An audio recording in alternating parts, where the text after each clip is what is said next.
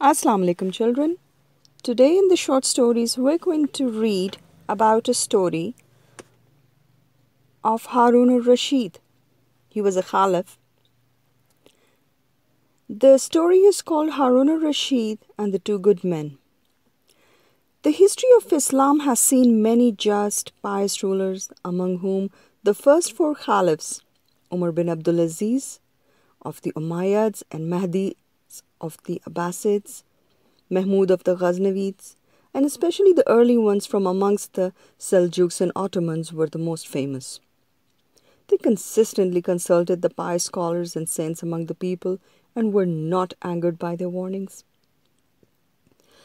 Once, together with Abu Jafar al Mansur and Mamun, Harun Rashid was one of the most celebrated rulers of the Abbasids he ruled over a vast land stretching from Morocco to China and from the Abyssinia to the Caucasus. Although he was not a famous one for justice and piety as Mahdi, he was also a just and upright man.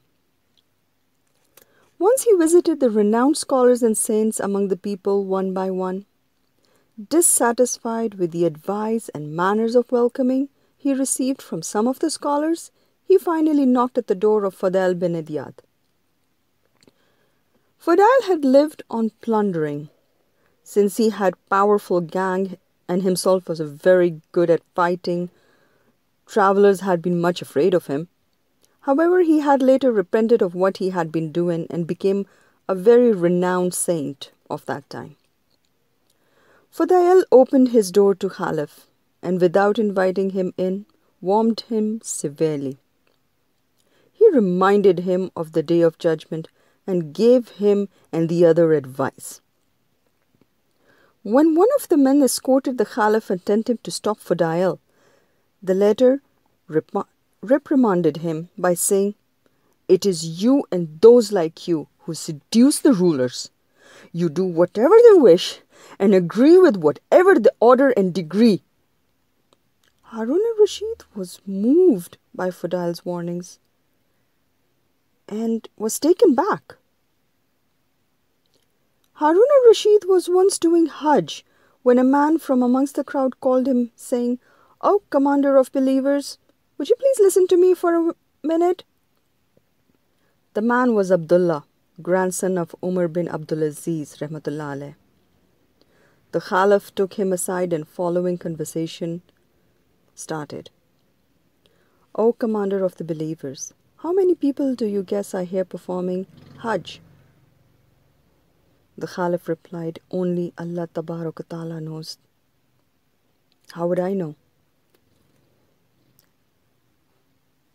Abdullah Rahmatullah said, Now beware, O Commander of believers, all of those who are shedding tears doing so out of the fear that they may be unable to account for in the day after.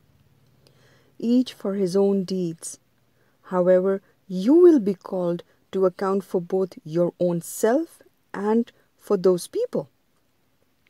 This led Caliph to think deeply for a while. Then he requested the pious scholar to continue. The scholar added, By Allah, O Commander of the believers, if a man neglects to do his own duty and waste his own property, the Almighty will punish him. But have you ever thought what will happen to him if he, as a ruler of innumerable people, neglects to do his duties with respect to the people and wastes public property? Now that made the Caliph think, and think very hard.